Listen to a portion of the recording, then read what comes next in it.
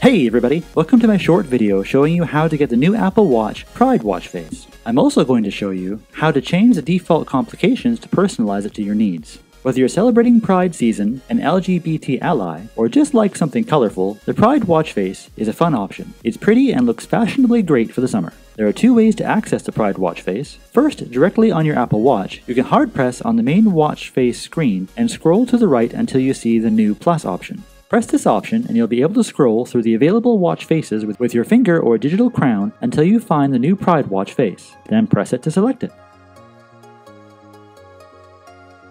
You can also add it to your watch from the Apple Watch app on your iPhone.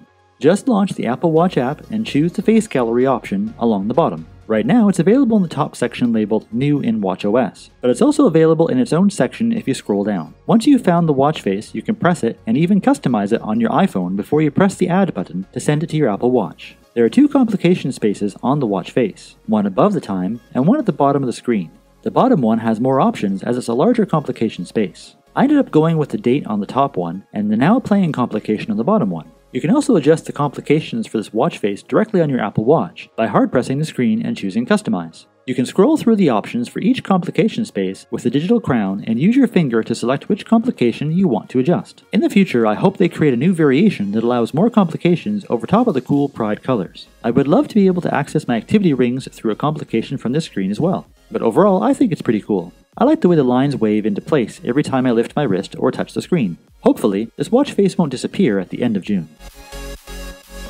Well, that's my short overview of the Apple Watch Pride watch face. If you enjoyed this video or found it helpful, feel free to give it a thumbs up. And while you're down there, don't forget to ring that bell and subscribe to the channel for more tech videos, including tech how-tos, every week. As always, thanks for watching, and we'll see you in the next one.